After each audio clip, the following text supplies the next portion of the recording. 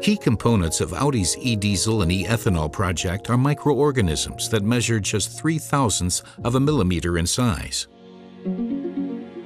The fuel is produced in a specially engineered solar converter system. The process utilizes CO2, which can't be obtained from an industrial or biogas plant. Another component used for the fuel is salt water, brackish water, or wastewater. The sun provides the process energy that the organisms need to produce the fuel. CO2, water, and solar energy set the circulating production process into motion, in which billions of microorganisms produce fuel. A special aspect is that they continually output fuel into the water,